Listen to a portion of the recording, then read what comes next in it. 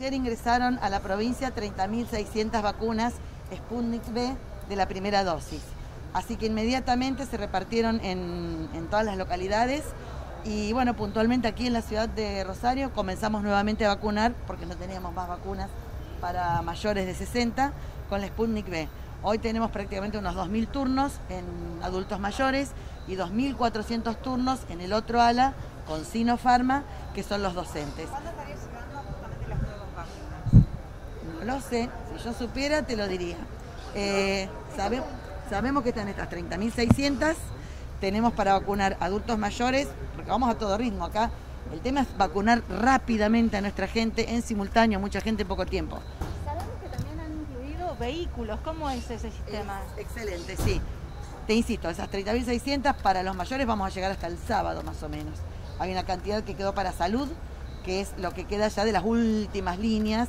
Quiero aclarar ahí que están incluidos los fonoaudiólogos, los psicólogos, los kinesiólogos, todos son salud van a entrar en estas últimas líneas, pero van a estar incluidos por supuesto. De manera tal que hoy ya llevamos 21.231 docentes vacunados y hoy dimos 9.000 turnos. La idea, nuestra meta, porque hay que tener metas en esto, es que este viernes terminamos con toda la primaria, llegamos a séptimo grado, de todos los inscriptos, por supuesto. Así que terminado esto, entendemos que comenzaremos con las vacunas que vayan quedando con el nivel secundario. Vamos haciendo tres logísticas diferentes con tres vacunas diferentes.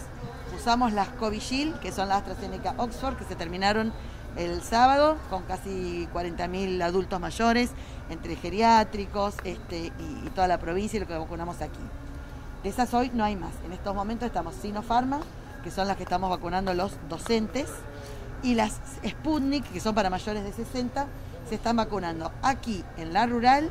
Eh, los mayores hoy estamos en 80 años, hoy ya em, hemos vacunado más 90, 85, estamos en 80 años y en los distritos municipales están vacunando los que se habían anotado en los distritos, también con Sputnik.